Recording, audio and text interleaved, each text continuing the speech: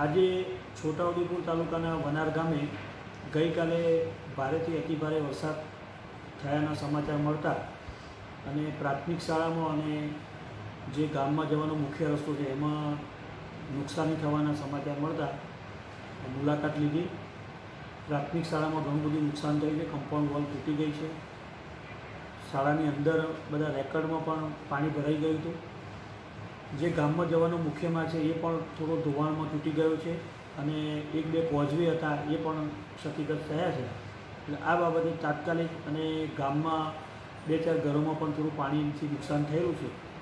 એ બાબતનો તાત્કાલિક સર્વે કરવા માટે તાલુકા વિકાસ અધિકારીશ્રીને સૂચના આપી છે અને માર્ગ મકાન પંચાયત વિભાગ દ્વારા આ બાબતે ઝડપથી કાર્યવાહી કરી અને વ્યવસ્થિત રીતે રસ્તો બની જાય અને પ્રાથમિક શાળાનું જે કમ્પાઉન્ડ વોલ તૂટી ગયો છે, એ પણ ઝડપથી બને એ બાબતના ખાતરીથી પ્રયત્નો કરવામાં આવશે.